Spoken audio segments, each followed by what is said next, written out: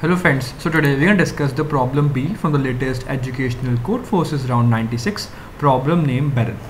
So you have n barrels lined up in a row numbered from like 1 till like n and like um, the initially all the barrels has containing like has some water uh, of the level AI. Okay, so as you can see like uh, you can assume that there are some barrels and now uh, every barrel has some amount of water initially present in that or in them. So now what you can see here is you can pour water from one barrel to another. So now uh, like you can choose one barrel and like take that water and you can pour it in some another barrel.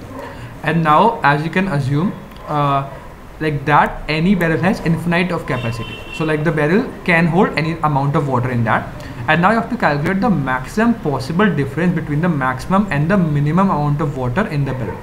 What does this mean that uh, after doing this operation that you can pour this water in here or like pour this water here uh, you can do these pouring operations at most k times. And after that you have to find out the possible difference between the maximum and the minimum amount of water in the barrel okay.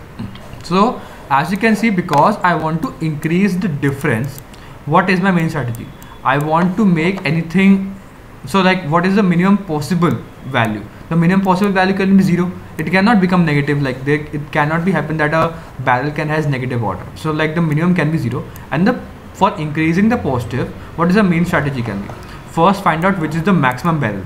Like which barrel has the maximum water and try to insert all the barrels which are like less than. So let's assume that this barrel has 10 water this is 9 and this is like 7 and I have like k equal to 1 so which barrel should I insert in this I should insert this because this is the second maximum so if I k is equal to 1, insert the second maximum. k equal to 2, insert this uh, third maximum and so on.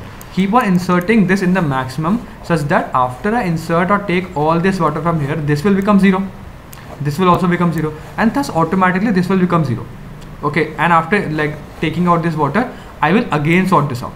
So what I can do, I will first initially sort all the all the barrels and for the like starting from this position I will keep on going from like right to left. And till I have some k left. If I have some k left, I will take this value to be 0 and insert this water in this barrel.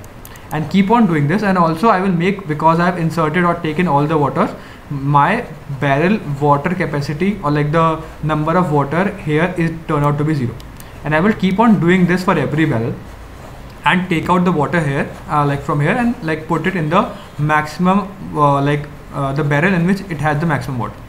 And thus in the end I have do like I have done k steps.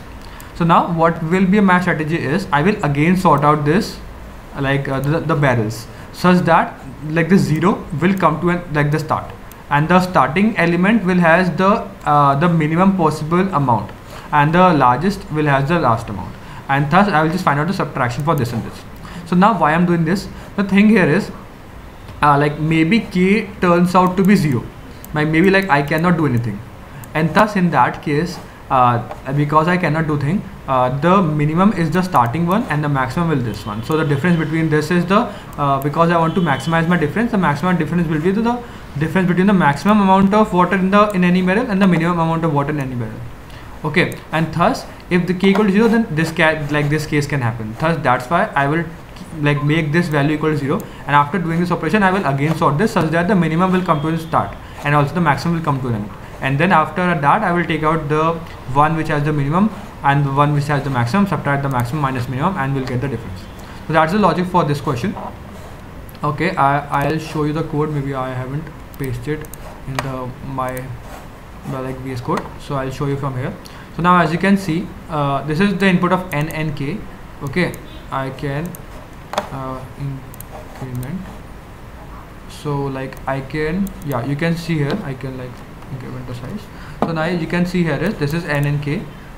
Okay and then uh, like in take the input of because the values can be very large uh, it can be 10 to the 9 that's why I've used long long. And if n equal to 1 like there is only one barrel then the answer is 0 because the because there is only one barrel so the maximum will be that only and the minimum will be that only because there is only one barrel so answer is 0 maximum minus minimum is 0 uh, because what else what I'll do I will sort this out. After sorting the house I will move from the second last value because the last value will has the maximum amount. My goal will be move from the second last from right till the left and keep on adding water from here to this point. And thus from the second last I will go to 0 I will check that whether there is some key present if there is some key present then only I will do this operation else I will break out of this loop if there is some key present what I will do I will take out or I, in the last barrel which is n minus 1 I will add the ith barrel and I will because I've done one operation I will decrement my k and also I will make this ith barrel because I've used this water to pour it into the last barrel I will make this equal to 0 and thus I've done k operations again I will sort out a dot begin to a dot end and the difference is just maximum which is the last element minus the first element and that's the answer. I hope you get the possible solution for this problem also. If you still haven't watched mention now, thank you for watching this video. I'll see you next one. Keep coding. Bye.